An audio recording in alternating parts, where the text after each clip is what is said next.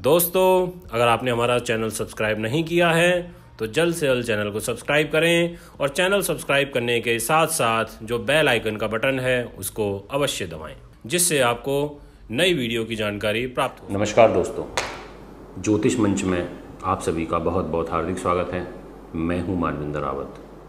आज नवरात्र का तीसरा दिन है और इस तीसरे दिन को माँ दुर्गा के तीसरे स्वरूप के रूप में मनाया जाता है और उनका जो तीसरा रूप है, वह है चंद्रघंटा देवी। दोस्तों, माँ दुर्गा के जो लीलाएँ हैं, उनके जो रूप हैं, वह तो अनेकानेक हैं, पर इन नौ रूपों की जो महत्वता होती है, वो बड़ी ही प्रभावशाली और परम आनंददायक होती है।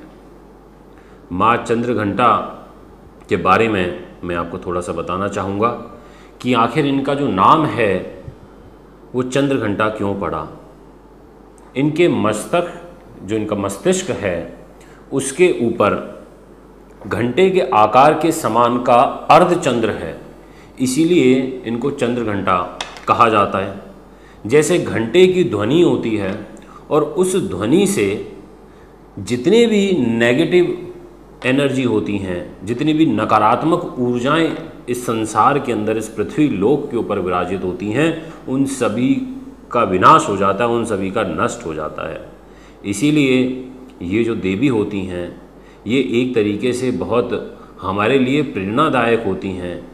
हमें ताकत देती हैं, हमें साहस देती हैं, हमें अच्छी सद्बुद्धि देती हैं, हमें शत्रुओं से लड़ने की इच्छा शक्ति देती हैं, हमें प्रेरणा देती हैं और इनकी जो आकृति है, ये एक बहुत ही विशाल काय आकृति दोस्तों होती है।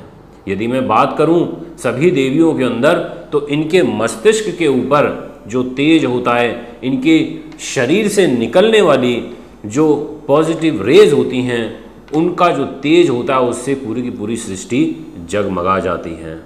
दोस्तों, ये दस हाथ वाली होती हैं। इनके दस हाथ होते हैं और इनके हाथों में खड़क शस्त्र, अस्त्र और इनके हाथों के अंदर वाण, भाला, यानी कि भिन्न भिन्न प्रकार के जो अस्त्र शस्त्र होते हैं, वो इनके पूरे हाथों के अंदर देखे जाते हैं। इसीलिए ये हमें जितने भी लोग जो आपका अहित चाहते हैं, जो जो राक्षस प्रवृत्ति के लोग होते हैं, जो दानव होते हैं, जो तांडव करते हैं, जो लोगों का अहित करते हैं, उनसे हमारी रक्षा करती हैं, उनसे हमारे को प्रोटेक्ट करती हैं, इसीलिए इनकी जो पूजा का जो विधान है, वो बहुत ज़्यादा है।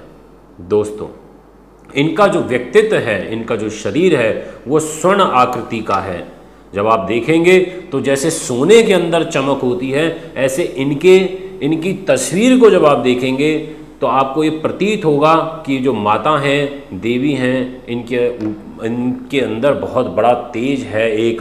इसलिए इनको स्वर्ण आकृति की कहा जाता है और इनका जो आसन होता है, ये सिंह के ऊपर बैठती हैं, शेर के ऊपर बैठती हैं। इसीलिए इनके जो भक्त होते हैं, जो इनकी सच्चे दिल से उपासना करते हैं, इनका सच्ची श्रद्धा और मन से अनुसरण करते हैं उनको माता का आशीर्वाद भी मिलता है और साथ में उनको सिंह जैसा साहस भी मिलता है, जो कमज़ोर दिल के लोग हैं, जिनकी विल पावर साहस बहुत कम होता है। ऐसे लोग विशेष तौर पर माँ चंद्रघंटा का ध्यान करें, उनकी पूजा करें तो आपको बहुत ही अच्छा लाभ मिलेगा। क्योंकि इनकी जो मुख की आकृति होती है, वो अत्यंत प्रभावशाली होती है और ये हमेशा अपने दस हाथों के साथ में पर दोस्तों, मन क्रम वचन, यानी कि आपको जो इनकी पूजा अर्चना करनी है पूरे मन से, पूरे क्रम से, पूरे वचन से और वचनबद्ध होकर के करनी चाहिए और इस पूजा को करने से आपको लाभ मिलता है। ये माता की एक कथा है और यहाँ पर मैं ये भी आपको बताना चाहूँगा कि माँ को यहाँ पर भोग जो आप लगाएँ वो दूध से निर्मित जो भी मिठाइयाँ होती हैं उनका भोग लगाएँ और उन्हीं चीज़ों का आप दान करें। किसी गरीब ब्राह्मण को भोजन कराएँ और यहाँ पर किसी देवी को जो आ, कोई भी एक गरीब ब्राह्मण को भोजन कराएँ स्त्री को भोजन कराएँ इससे आपको बहुत ज़बरदस्त लाभ मिलेगा।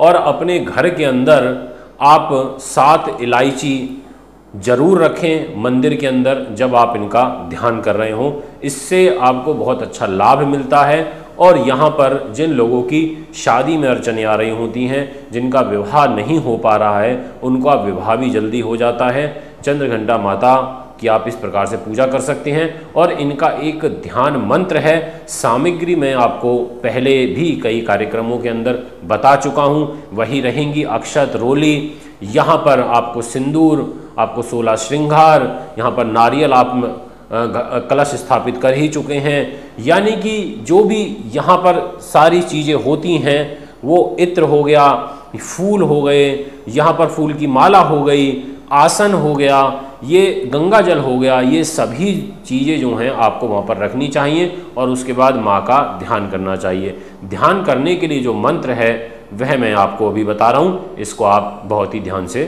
सुनिएगा। वंदे वांछित लावाया, चंद्रकृत शेखराम, सिंहारूणाम दस भुजाम चंद्र घंटा यशस्वनी इस मंत्र का आप जाप करें, इससे आपको बहुत ज़बरदस्त लाभ मिलेगा। दोस्तों, यदि आप भी हमसे मिलना चाहते हैं या ऐसी धार्मिक बातों को आप डेली चाहते हैं कि आप तक पहुँचें तो आपका स्वागत है। आप हमारे इस चैनल को लाइक करें और इसको सब्सक्राइब करें। और इसको शेयर भी करें, ताकि ये जो हमारी आवाज़ है, ये जन जन तक पहुँच सके, देश विदेशों में पहुँच सके, अधिक से अधिक लोग इसका लाभ उठा सकें। जय माता रानी की। दोस्तों, अगर आपने हमारा चैनल सब्सक्राइब नहीं किया है तो जल्द से जल्द चैनल को सब्सक्राइब करें और चैनल सब्सक्राइब करने के साथ साथ जो बेल आइकन का बटन है, उसको अवश्य दबाएँ, जिससे आपको नई वीडियो की जानकारी प्राप्त हो सके।